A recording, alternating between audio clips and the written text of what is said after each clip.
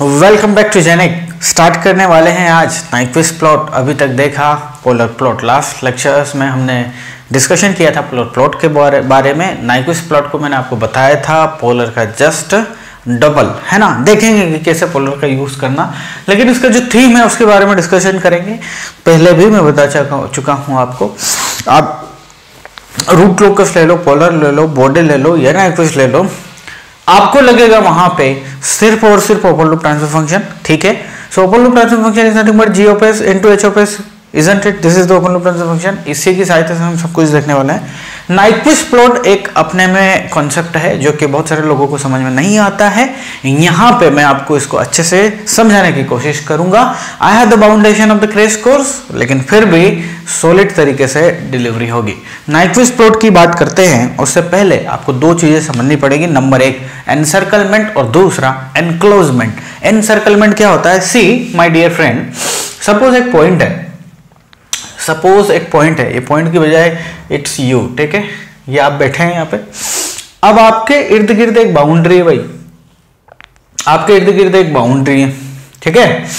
अब इस बाउंड्री में आप जो हो, अब इस, इसकी जो डायरेक्शन है, इस बाउंड्री की डायरेक्शन, कुछ भी डायरेक्शन हो, चाहे वो एंटी क्लॉकवाइज हो या क्लॉकवाइज हो, फ़र्क नहीं पड़ता। इसके अंदर यदि आप हैं तो इसे बोलेंगे एन सर्कलमेंट इसको क्या बोलेंगे? Encircle this is nothing but encirclement you are encircled by the boundary ठीक है? इसके डायरेक्शन से कोई मतलब नहीं। अब बात करेंगे एनक्लोज्ड की। एनक्लोज्ड क्या होता है सर एनक्लोज्ड क्या होता है? Suppose again it's you it's you ठीक है?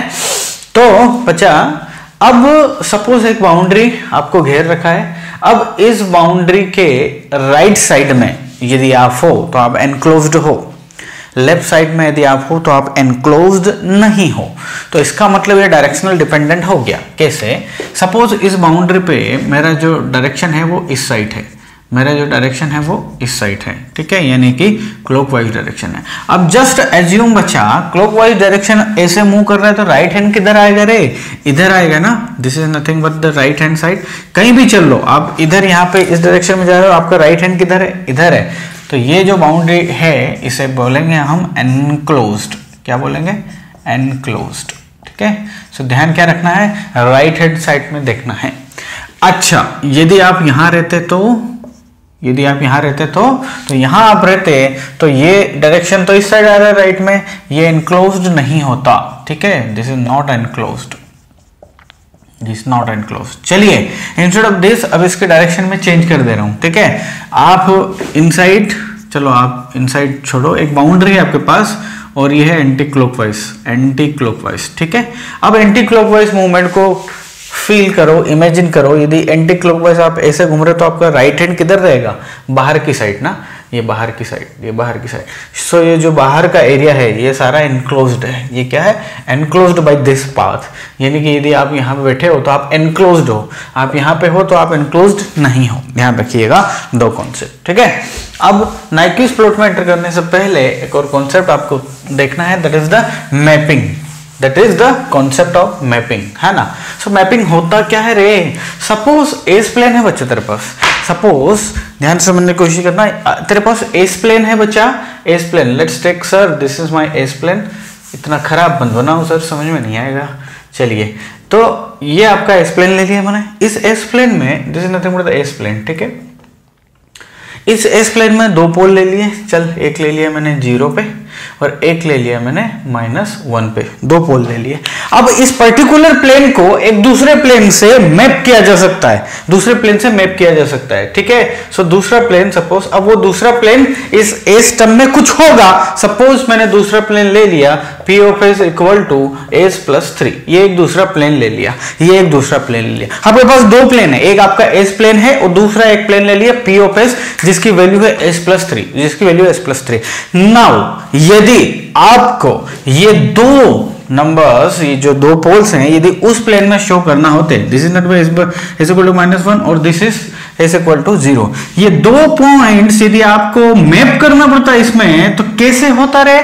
चलिए देखते हैं. एस इक्वल टू ज़ीरो एक पॉइंट है. चलिए एस इक्वल टू ज़ीरो एक पॉइंट है.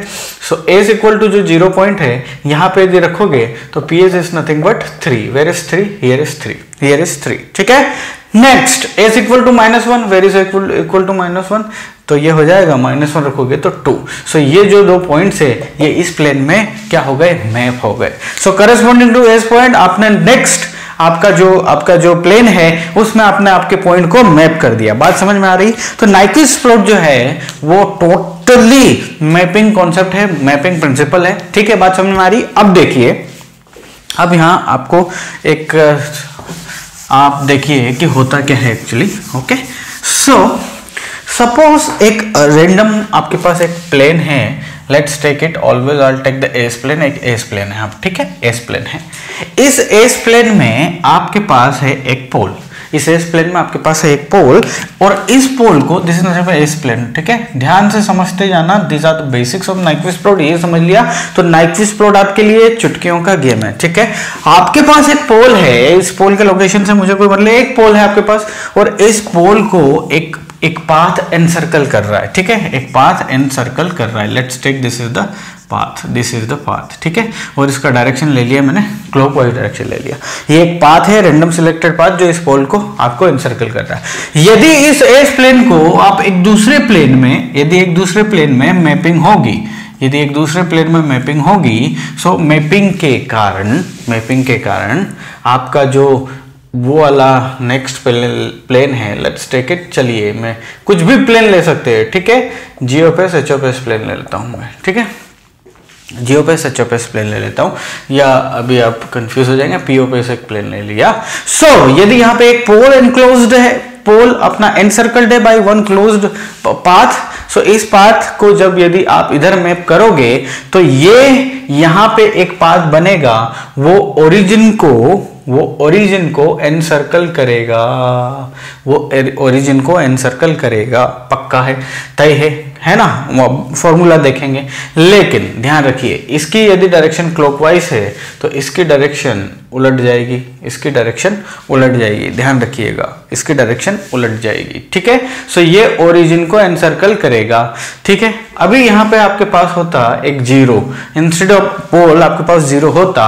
सो अगेन एनसर्कल करेगा, लेकिन डायरेक्शन चेंज नहीं होगी। जो मैं बोल रहा हूँ, उसको नोट डाउन कर लीजिए। मैं बोर्ड पे नहीं लिख रहा। चलो तो एक्चुअली ये जो मैपिंग वाला कॉन्सेप्ट और एनसर्कलमेंट वाला जो फॉर्मूला है, वो होता है N equal to P minus Z अभी नाइक्विस में एंट्री नहीं हुई है नाइक्विस वाला फॉर्मूला नहीं है। N is nothing but the encirclement, p is the pole so z is nothing but the zero, जो कि यहाँ पे encircled है, ध्यान रखिएगा। So, encirclement जो है ये, encirclement, यदि clockwise encirclement होगा तो उसे मैं नेगेटिव लिखूँगा। यदि काउंटर क्लॉकवाइज होगा तो उसे मैं पॉजिटिव लिखूँगा। ये साइन नोटेशन आप ध्यान रखिए, ये साइन नोटेशन आप ध्यान रखिए, ठीक है?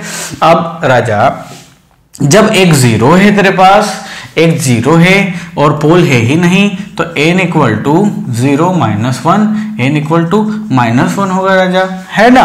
तो this is nothing but the encirclement अब अब आपको क्या देखना है? आपको ये देखना है कि N equal to minus one आया। इसका मतलब डायरेक्शन जो थी, जैसे क्लॉकवाइज डायरेक्शन थी ना तो अभी भी क्लॉकवाइज डायरेक्शन है ना?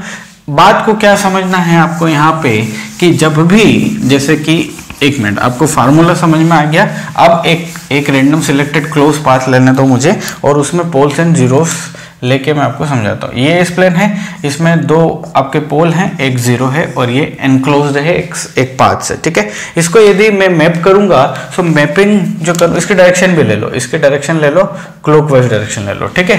इसकी मैपिंग कर रहा हूँ मैं एक अनादर प्लेन में let's take P of s plane P of s plane में। एन सर्कलमेंट करेगा ओरिजिन को, पक्का करेगा, कितनी बार करेगा? N equal to P minus Z times P कितने है राजा? दो है। जेड कितने हैं? वन एन एन सर्कलमेंट जो होगा वो वन एक बार एन सर्कल करेगा, किसको? ओरिजिन को। ओरिजिन को एक बार एनसर्कल करेगा। यहाँ डायरेक्शन क्या है? काउंटर क्लॉकवाइज है। काउंटर सॉरी क्लॉकवाइज है। जब भी पोल्स ज़्यादा रहेंगे डायरेक्शन चेंज होगी ज़ीरो ज़्यादा रहेंगे डायरेक्शन चेंज नहीं होगी। तो इसकी डायरेक्शन जो है वो एंटी क्लॉकवाइज दी जाएगी। इसकी इसकी डायरेक्शन जो है वो एंटी क्लॉकवाइज दी जाएगी काउंटर क्लॉकवाइज ठीक है? आपको नहीं समझ में आ रहा काउंटर क्लॉकवाइज एंटी क्लॉकवाइज या फिर क्लॉकवाइज क्या होता है? तो एन की वैल्यू पॉजिटिव है ना? So N positive N is nothing but the encirclement encirclement positive कब होता है? आपके काउंटर क्लॉकवाइज में काउंटर वाइज में एन इक्वल टू क्या आता है राजा? माइनस वन आता है। ध्यान रखना है अपने को अपने को ध्यान रखना है। ठीक है? चले चले, हम देखते हैं अब। इसी टाइप से यदि इसमें आपका आपका जो नंबर ऑफ़ जीरोस है, वो ज़्यादा रहते और आपका जो पोल्स है, वो कम रहते so N equal to P minus Z P कितना है? वन ये कितना है? दो माइनस वन ठीक है? आपका जो नेक्स्ट प्लेन रहेगा, उसमें ओरिजिन का एनसर्कलमेंट एक बार होगा, ये तो तय है, ये तो तय है बट उसकी डायरेक्शन क्या रहेगी? ज़ीरो है तो ये ये रहेगी क्लोकवाइज डायरेक्शन ठीक है? ये क्लॉकवाइज डायरेक्शन ठीक है? एनसर्कलमेंट चेक करना हो तो यहाँ से एक लाइन खींचो आप। इस पॉइंट पे आपका एनसर्कलमेंट ये क्लॉकवाइज मिल रहा है। क्लॉकवाइज को क्या बोलते हैं? माइनस वन सो एन की वैल्यू कितनी है? माइनस वन देखो, आपकी एन की वैल्यू माइनस वन है या नहीं? ठीक है? ये बात समझ में आ गई? सिंपल बेसिक सी चीज़ थी। Equal to P minus Z अब इसमें आपका नाइफिस प्लॉट में सर कहानी क्या है सर नाइफिस प्लॉट की क्या कहानी है भाई? ये तो सर देख लिया आपने एनसर्कलमेंट देख लिया आपने, सब कुछ देख लिया। Now come to the Nyquist plot Nyquist plot की क्या कहानी है? क्या सीन है? देखिए देखिए नाइक्विस प्लॉट में आप यूज़ किसे कर रहे हैं? आप, और ये भी फ्रीक्वेंसी एनालिसिस से जी जे जे ओमेगा ठीक है? नाइक्विल प्लॉट जो है, वो कंप्लीट फ्रीक्वेंसी रिस्पॉन्स है.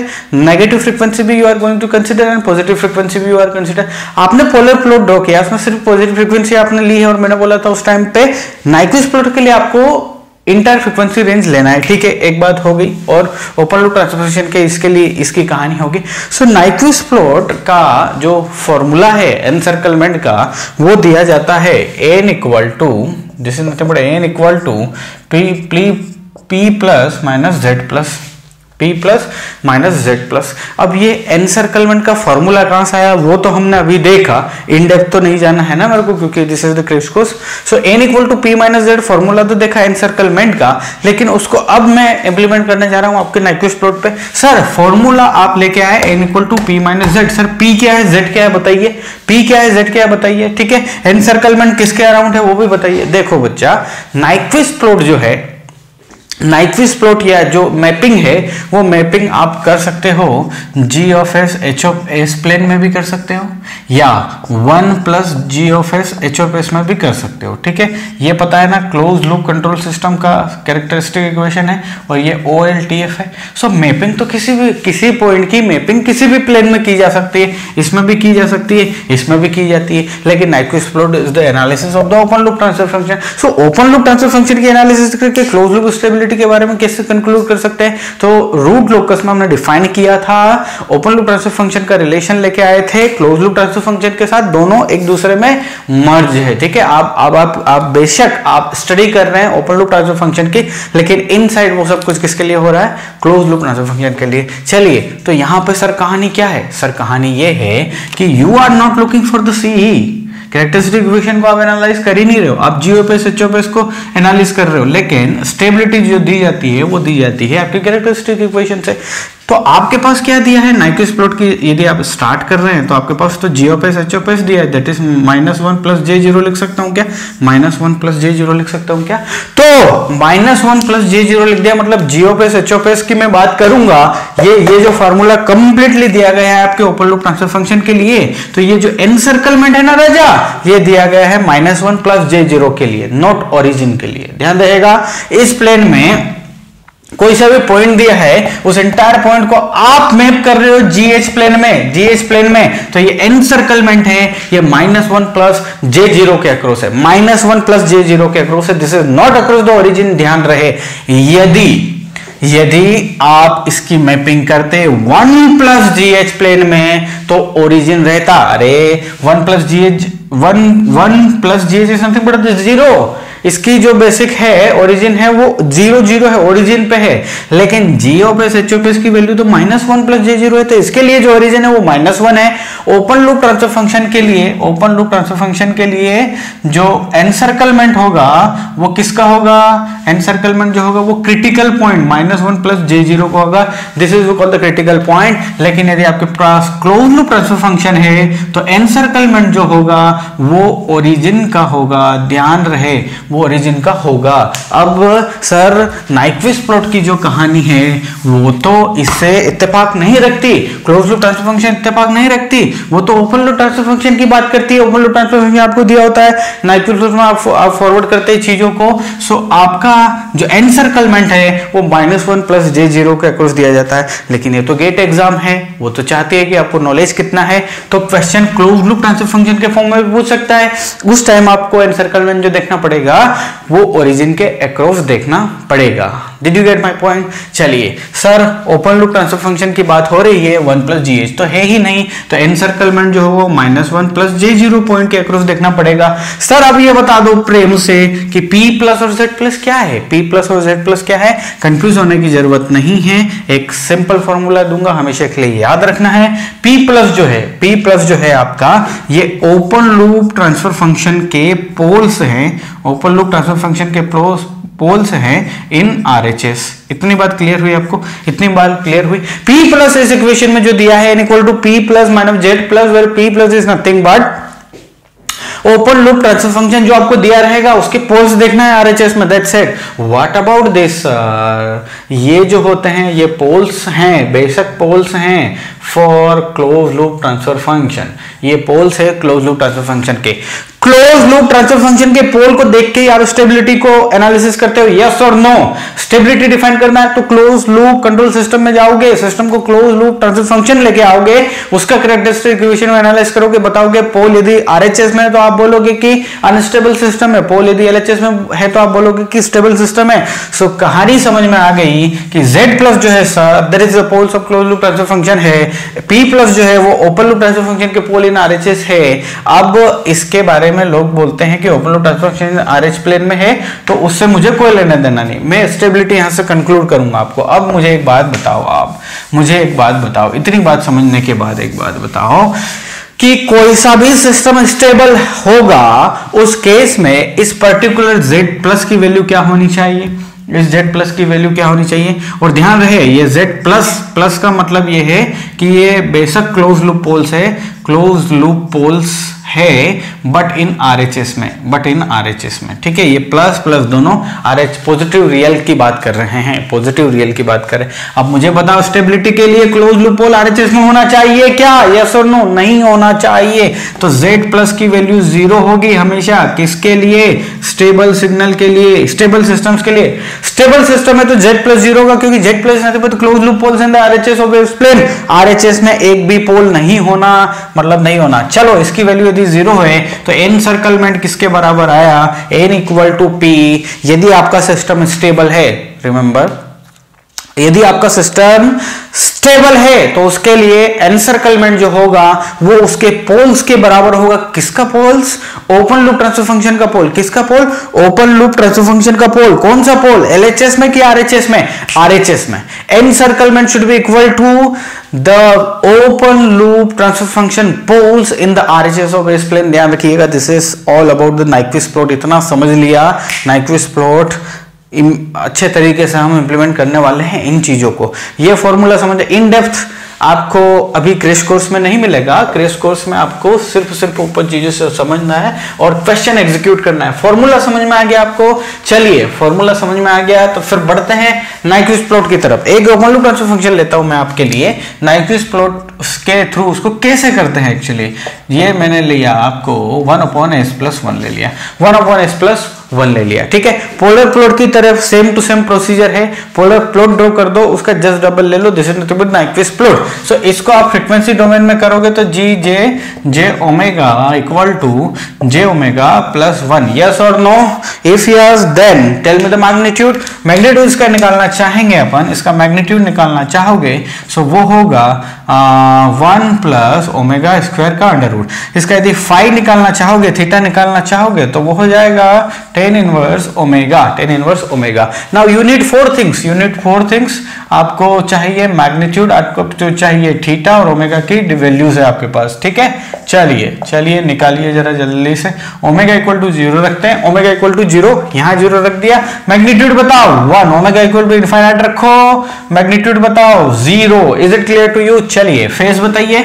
ओमेगा की इक्वल टू ज़ीरो रखो। ज़ीरो फेस है। ओमेगा इक्वल टू इनफाइनाइट रखो। Minus tan inverse pi by तो minus tan inverse infinite is nothing but minus pi by two that's it कहानी खत्म। Polar plot draw करना तो बच्चा बच्चा कर देगा यार। इंडिया के किसी भी कोने में बैठा हुआ बच्चा पोलर प्लॉट को तो जानता हुआ ये तो तय है। क्योंकि अक्षय कंट्रोल सिस्टम की सबसे इजी चीज़ जो है वो पोलर प्लॉट ही है। सब पोलर प्लॉट सोचता है। वैसे तो सब चीज़ इजी है, ठीक है? चलिए, हम ड्रॉ करते हैं इसका। इसका पोलर प्लॉट ड्रॉ करते हैं। Sir omega equal to zero phase कितना ज़ीरो मैग्नीट्यूड कितना one where is phase zero here is zero तो ये इसका जो मैग्नीट्यूड है that is one omega equal to यहाँ क्या है? ज़ीरो कहानी खत्म। नेक्स्ट कहानी। ओमेगा इक्वल टू इनफाइनाइट पे। आपका एंगल है ना माइनस फाइव बाई टू और मैग्नीट्यूड ज़ीरो मतलब यहाँ कहीं आएगा। So this is nothing but like this so this is the plot polar plot draw किया है रे। ऐसे ही होता है ना। अभी इसका डायरेक्शन जो है, वो ऐसा डायरेक्शन है। इसकी डायरेक्शन जो है, वो ऐसी डायरेक्शन है। नाइक्विस प्लॉट क्या है सर सर नाइक्विस प्लॉट क्या है? नाइक्विस प्लॉट जो है इसका इसका इतनी इमेज का जस्ट आपको रिप्लिक लेना है। इसका मेरे इमेज ड्रॉ कर दो आप। डायरेक्शन वही की वही रहेगी जो फॉलो हो रही है। बात समझ में आई? This but plot for this system रे। इस सिस्टम के लिए नाइक्विस प्लॉट की कहानी आपके पास ये रही। ठीक है, बात समझ में आ गया? ये नाइक्विस प्लॉट है। नाउ नाउ गौर करने की बात। स्टेबिलिटी देखनी है कि सर सिस्टम स्टेबल है या नहीं है। नाइक्विस प्लॉट से, वैसे तो आप सभी को पता है कि सिस्टम क्या है? स्टेबल है, लेकिन नाइक्विस प्लॉट से देखते हैं। नाइक्विस प्लॉट बोलता है कि P plus minus Z plus P plus minus Z plus हम स्टेबिलिटी एनालाइज कर रहे हैं बच्चा। चलिए एन सर्कलमेंट किसका देखेंगे? Minus one plus j zero point का एन सर एक लाइन खींच दो। इसको कोई कट कर रहा है क्या इधर? से या इधर से मैं ही कर रहा हूँ, लेकिन ये प्लॉट नहीं कर रहा है। सो एन इक्वल टू कितना आया राजा? ज़ीरो ज़ीरो आया। P plus positive open loop transfer function का पोज आरएचएस में पोल है क्या? नहीं है। इसकी वैल्यू कितनी है? Zero minus Z plus Z plus की वैल्यू कितनी आई? ज़ीरो जब भी जेड प्लस की वैल्यू ज़ीरो आएगी सिस्टम स्टेबल होगा या स्टेबल होगा? स्टेबल होगा। क्यों? Z plus is nothing but poles of close loop control system in the R H S plane isn't it so ये सिस्टम क्या हो गया? स्टेबल सिस्टम हो गया। आपको तो वैसे भी पता है स्टेबल सिस्टम नाइक्विस्ट से चेक करना है। बात समझ में आई? चलिए।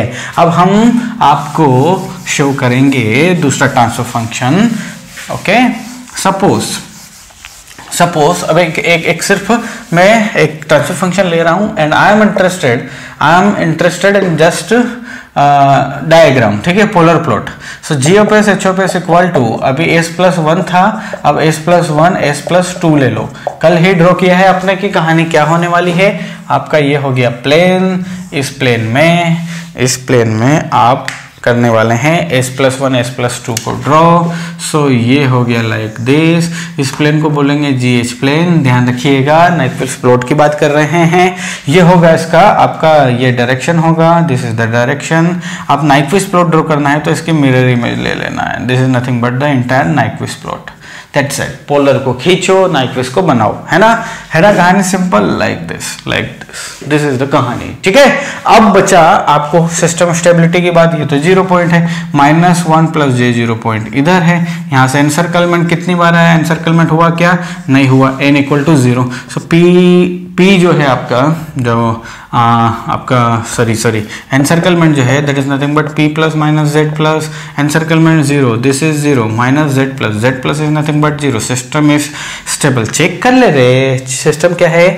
स्टेबल है. सो लाइक दिस ठीक है? अब थोड़ा सा गेम में ट्विस्ट अब आपके पास रहेगा सिर्फ़ इतना और आप ऐड करेंगे एक पोल एट ओरिजिन एक पोल एट ओरिजिन करते हैं तो आपको पता है कि इंटायर इंटायर जो आपका प्लॉट है, वो शिफ्ट कर जाता है, वो शिफ्ट कर जाता है बाय माइनस नाइन्टी डिग्री इसका जो प्लॉट बनाओगे आप, वो बनेगा कुछ ऐसा, इसका प्लॉट कुछ बनेगा ऐसा, ठीक है? इसका प्लॉट कुछ बनेगा ऐसा. अब आप क्या करोगे? पहले तो डायरेक्शन डिफाइन कर दो. हेयर इज़ द डायरेक्शन अब आप ऐसा भी कर दोगे. Here is the like this ठीक है? अब यहाँ पे आपको एंड नहीं करना है, ध्यान रखिए, ये इन्फिनिटी से है, ठीक है? आपके पास यदि एक पोलेट ओरिजिन है तो पाई का एनसर्कलमेंट मिलेगा आपको पाई का एनसर्कलमेंट मिलेगा दैट इज़ देखो 180 डिग्री का है ना? एक एनसर्कलमेंट है एस इक्वल टू वन है तो पाई एनसर्कलमेंट मिलेगा एस की पावर टू है यदि नीचे तो टू पाई एनसर्कलमेंट मिलेगा एस क्यूब है तो थ्री पाई का एनसर्कलमेंट मिलेगा। ध्यान रहे इस बात का, ठीक है? सो जहाँ से एंड होता है, वहाँ से एनसर्कलमेंट हो जाएगा और ये एंड एनसर्कलमेंट की डायरेक्शन हमेशा क्लॉकवाइज रहती है, कभी मिस्टेक नहीं करोगे, ध्यान रखिएगा। एनसर्कलमेंट स्टार्ट वहाँ से होता है जहाँ नाइक्विस प्लॉट जो है, वो एंड होता है, वो एंड होता है। एनसर्कलमेंट एंड वहाँ होता है जैसे नाइक्विस प्लॉट स्टार्ट होता है, जहाँ से नाइक्विस प्लॉट स्टार्ट होता है। ध्यान रहेगा आपको ये बातें। चलिए, एक और मैं आपके सामने क्वेश्चन ले रहा हूँ और समझते हैं नाइक्विस प्लॉट के बारे में, ठीक है? अभी सब इजी पड़ रहा है, जो भी है फॉर्मूले के ऊपर है, ठीक है? इन डेप से कोई लेना देना नहीं है सर मुझे इतना बताओ कि मुझे गेट के क्वेश्चन बनने चाहिए। यही तो थीम है हमारे क्रेश कोर्स का। गेट के क्वेश्चन बनना चाहिए तो चलो गेट के क्वेश्चन ले लेते हैं ना।